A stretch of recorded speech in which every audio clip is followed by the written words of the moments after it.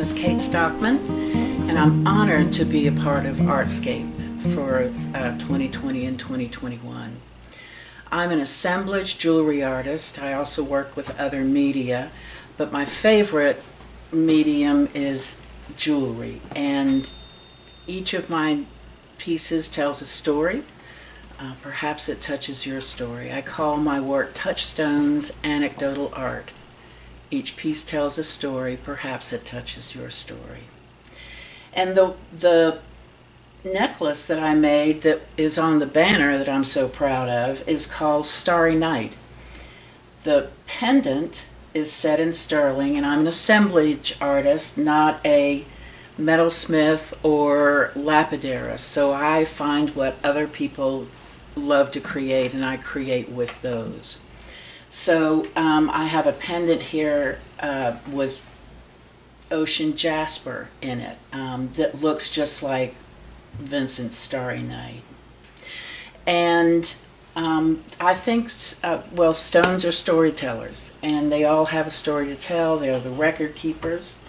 And this one talks, speaks to stars. And as well as the ocean because it's very it's ocean jasper which is mined in only one place on the whole planet which is just off the coast of madagascar. That i think that's where the original garden of eden must have been because it's so full of exquisite stones. Um, i hope to go there one day. Anyway in this necklace um, the ocean jasper is hanging i have three different strands for this necklace the darker strand that the Starry Night is hanging on is mostly green rutilated quartz.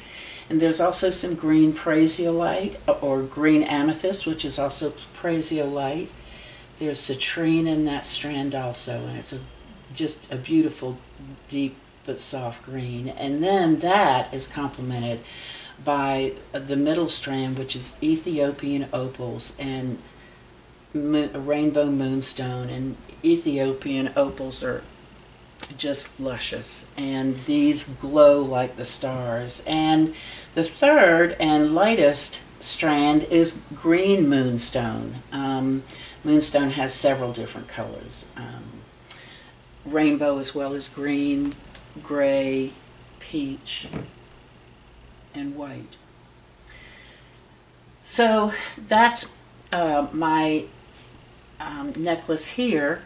Each of my necklaces is adjustable so that depending on your neckline, your mood, you can wear it longer or shorter. I prefer longer necklaces, obviously, um, but some people don't, and it's not the best feel for some people, so I make it adjustable.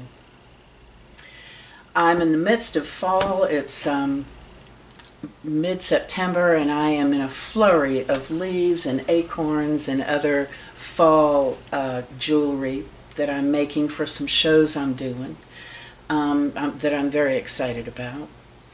And um, I also am a bookbinder uh, most of what I do nowadays is take old photo albums, Victorian photo albums, and up, up level them, upcycle them um, from the bin box to the um, to the bookcase as journal covers, and they're just beautiful. Uh, otherwise, they'd be in the recycle bin or the attic.